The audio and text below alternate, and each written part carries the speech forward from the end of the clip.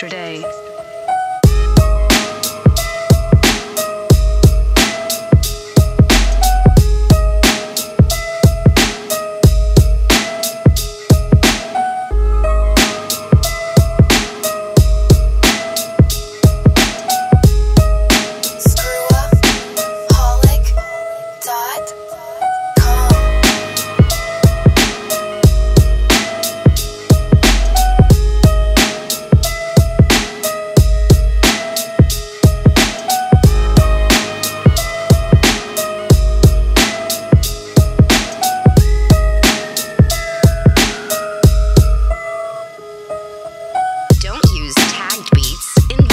yourself. Purchase the lease or exclusive today.